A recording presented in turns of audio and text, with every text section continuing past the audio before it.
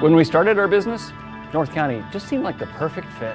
We love the location, the people are great, and there's a real sense of community. We recently partnered with the UT San Diego and Night and Day on a community festival, a charitable fundraiser, and the event went great. We'd do it again. I'm Greg Koch, CEO, co-founder of the Stone Brewing Company and UT San Diego North County Edition, my paper. Cheers to all of you.